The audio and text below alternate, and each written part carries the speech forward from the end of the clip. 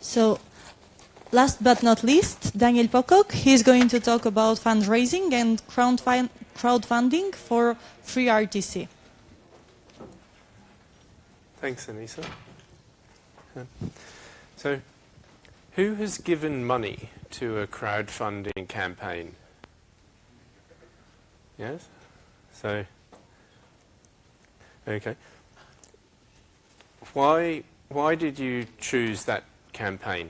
Can anyone, would anyone like to share an example? Um, just grab the microphone from Anissa. Who, who, just put your hand up if you can give us an example. Anybody? Any? Yep. Uh, I've been giving money to a few open source communities on Open Collective. Mm -hmm. Okay. Can you give an example of a community you donated to? Uh, Webpack, for okay. example, Babel.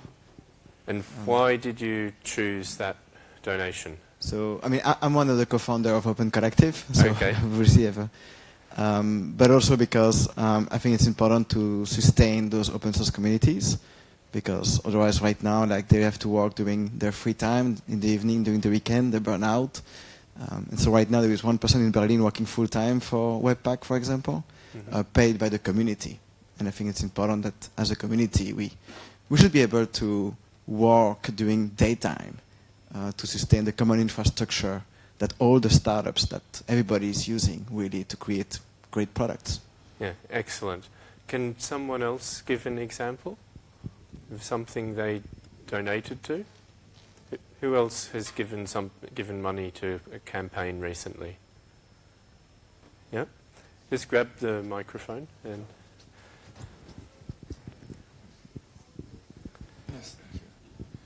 I uh, donated uh, to uh, Trisquel operating system and uh, KDE. Mm -hmm. And why did you choose to donate to these projects? because they are, uh, in my mind, uh, essential for uh, being able to work with free software. you could also choose another operating system or another software manager, but you need you need to have one. Excellent. So okay. So how do, can I ask you another question? Mm. How did you discover these crowdfunding campaigns? How did you learn that they were looking for money? Through their own websites. It's from their website? Yes. Okay, excellent. Can, can anyone else give me another example?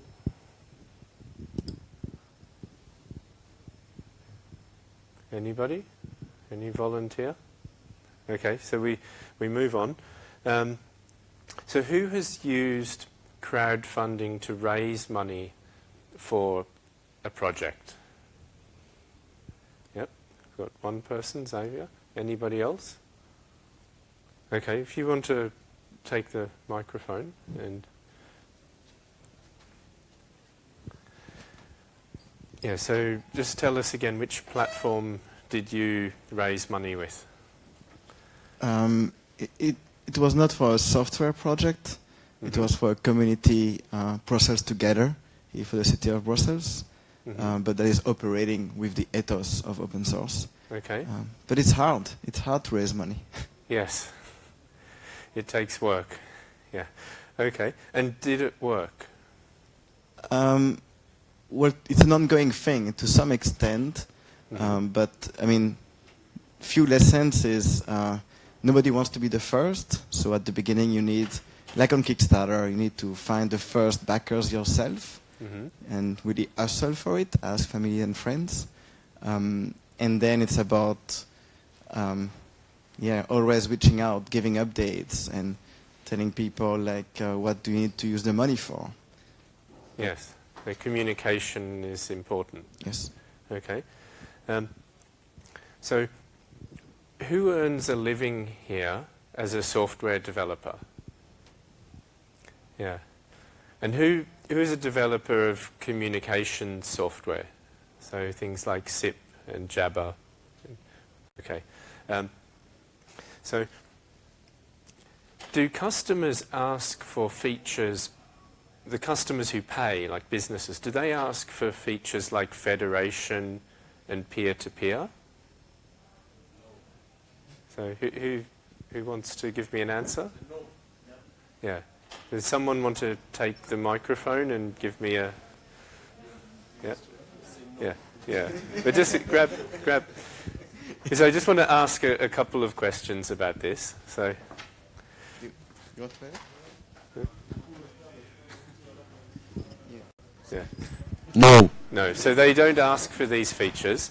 Did you ever offer these features to one of the customers?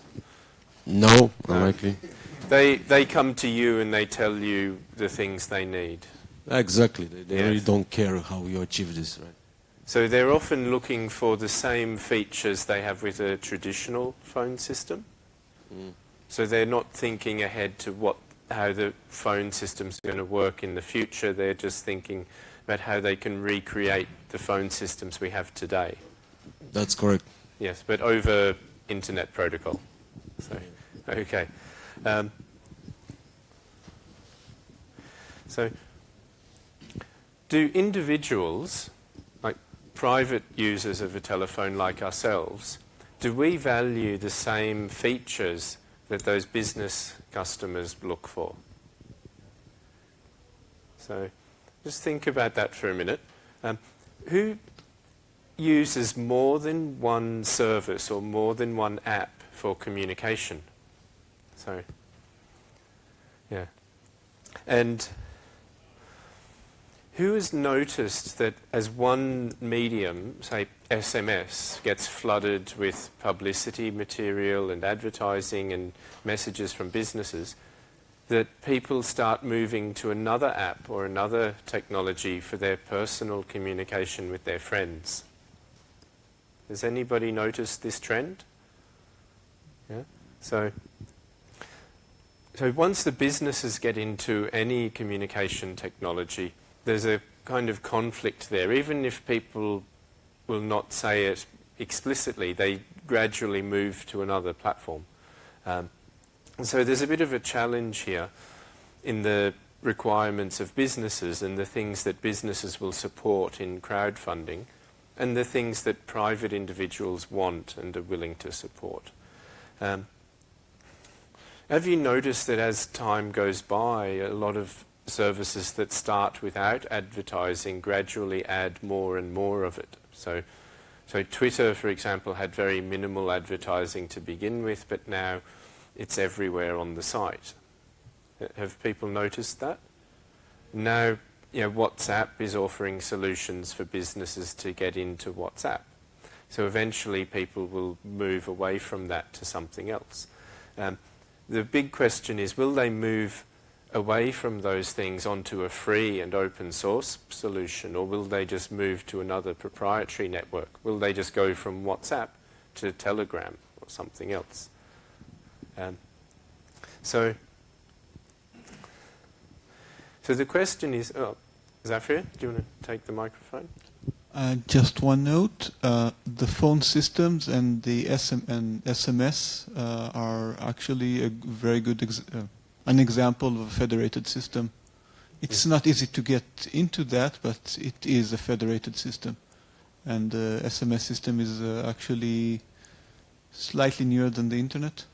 hmm Yeah, so the traditional phone system is a good example of federation, but it has other serious failings, like there is no TLS encryption in the traditional ISDN style digital networks.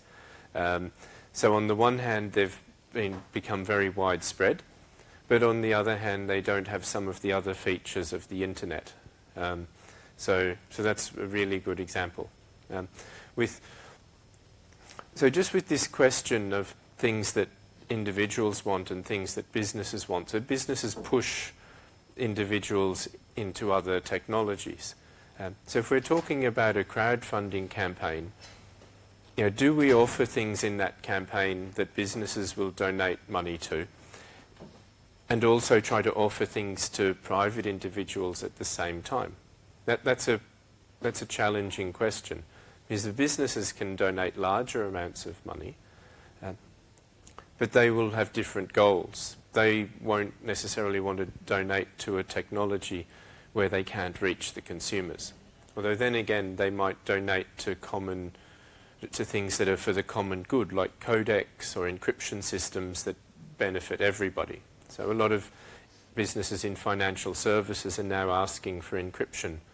Um, and it's been insisted upon for anything they do over the internet. So that's something that is in common with end users. But they might not be keen on anonymity. So that doesn't protect you from sales calling and other problems. Um, so, is anyone using crowdfunding for projects outside real-time communications? So, Xavier, you had, Um, I'm leader of e-learning. Sorry, I'm leader of an e-learning platform, a free software platform, and we've tried crowdfunding before, but actually we, I mean, in retrospect, we get less funding than the actual costs of organizing the the mm, crowdfunding campaign. mhm. Uh, so it's not not not productive. We stopped doing that. Okay. So when you say that, so you had financial costs or time costs or both? Um, mostly time costs. Uh, it's mostly the people working on the project. Their time could be better invested in other other efforts. Uh, again, in retrospect, you know uh, that seeing the results, then we could, yeah, Okay. definitely work on something else. Do you see there being possibilities if, if several projects work together on a campaign that they could collaborate to, br- to reduce that burden? I feel that the, uh, um, I'm not sure, um, but I feel that the issue is mostly that in open source and free software projects, we are uh, mostly the people who start the projects are really the the opposite of marketing people, and that you need to convince people to want to invest in your project, and that's very difficult to do for us geeks uh, because I mean initially we're into non or less communicative behavior, and we we tend to underestimate our own work in some respects, and so it's very difficult to sell it to others. Okay. Um, if you want to. Yeah, I'd, I'd love to react to that. Um, yes, I mean, I, I agree. Like the, the problem of traditional crowdfunding platforms is that it's a one-off. So you spend a lot of energy to raise money once, and then all that energy is is gone. Um, and so that's why on Open Collective, what we've been trying to do is uh, get people to do recurring donations, so that at least like they keep on going money. And then the other problem that is absolutely right, most open source projects are and uh, doing what they do because they love coding. The last thing they want to do is is what you explained. Um, and so that's what, what we, did is we created this nonprofit, the Open Collective, from um, the Open Source Collective, which is a 501c6 in the US. And all of the now we have 460 open source communities on the on the platform. And for example, some projects do have more people that are community driven. Um, and so, for example, I, I think of Sean, Sean Larkin uh, doing the Webpack, which is a JavaScript bundler. He's been doing an incredible job at getting sponsors for Webpack. And so now they were able to pay someone full time to work on this. But what's interesting is there are companies like now Google, Microsoft, um, Facebook, and so on uh, who give money to them. But because of that, now they're on the platform and they also can easily give money to other projects. Um, and so those other projects didn't have to do all of the of the work. And so there is kind of a natural network effect that is happening to your question of actually coming together. Okay.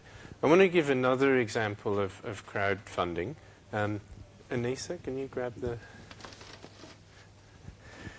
So, Anissa is from Open Labs in Albania, and they also organize a, an event. It's not as big as FOSDEM, um, but it's the biggest free software conference in the Balkans. So, it's OSCAL. And when is OSCAL?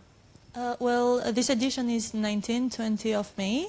hmm So every year, what, what do you have to do to fund OSCAL?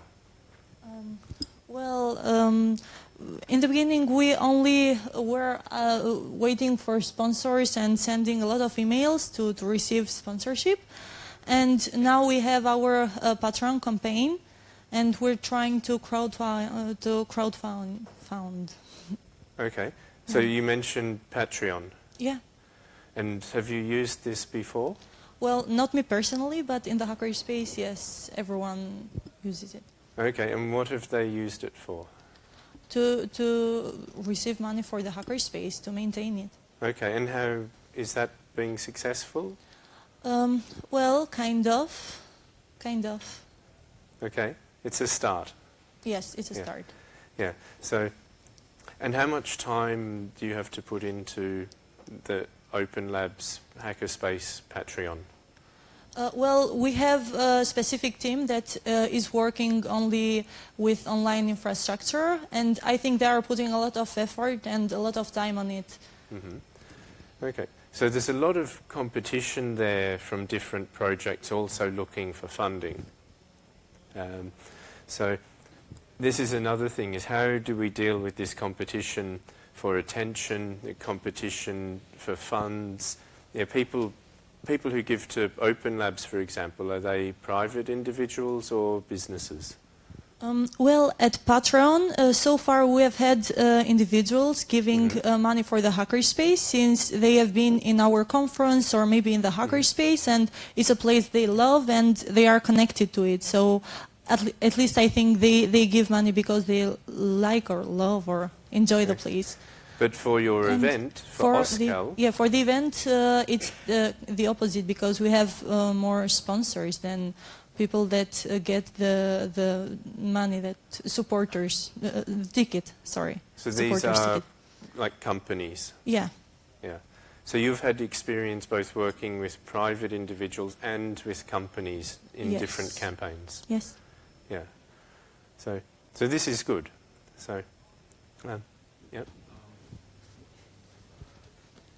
We, we, we do actually the contrary. So what we do is we organize events that are uh, for a cost. So then you you you participate. It's not like open like FOSDEM and and well we do also events like FOSDEM for our software in particular. But then we organize other more kind of professional events where we do workshops and we do conferences from uh, different use cases of our customers. And and that uh, is actually something new that we launched two or three years ago and that is transforming itself into a revenue stream. So it's uh, it's also I mean we've been inspired by uh, the DrupalCon uh, conferences because they have like 3,000 visitors every year. We have like 100.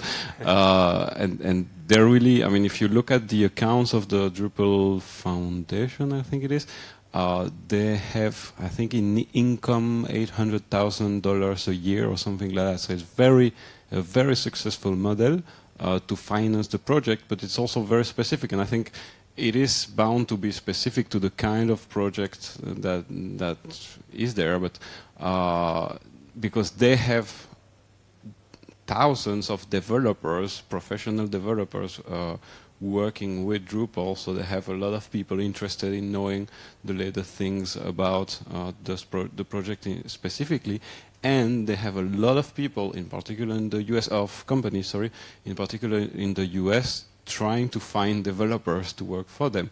So that is a very good uh, revenue stream for sponsor sponsoring because they have companies that want to promote their to be able to uh, have more developers. So they're easily putting ten thousand dollars or something like that just to have a, a booth there. Okay. So those are all some great examples. Well, we're running out of time, so I'm going to wrap things up here. But certainly, anyone who's developing real-time communications in SIP, XMPP, and other projects, if you're interested in looking at this as a fundraising source for your business, um, you know, feel free to contact me. Um, I'm reaching out to a few projects individually at the moment and looking at whether we can collaborate on a campaign to reduce the overheads, to do some of the marketing and publicity together, um, because that reduces the amount of time that each individual project has to put in. Um, and it can also help us to achieve a larger financial goal overall. Um, so I look forward to speaking to you afterwards. Thank you for coming to FOSDEM, and I hope to see you next time. So, yeah. Thank you very much, Daniel. Yeah.